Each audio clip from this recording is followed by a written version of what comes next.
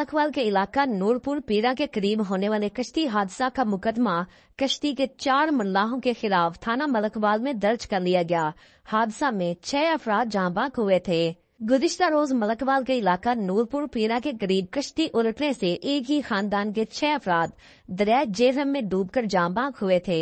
वाक़ का मुकदमा रिजवान हैदर की मुद्दत में कश्ती के चार मल्लाहों जहूर अहमद, मंजूर अहमद अली और सकलैन के खिलाफ थाना मलकवाल में दर्ज कर लिया गया है। एफआईआर मतन के मुताबिक हादसा कश्ती में हिफाजती इंतज़ाम न होने की वजह से पेश आया। वज़ीर अला पंजाब मरियम नवाज़ शरीफ ने मुतासरा फैमिली के लिए साठ लाख रुपए इमदाद का ऐलान भी कर रखा है।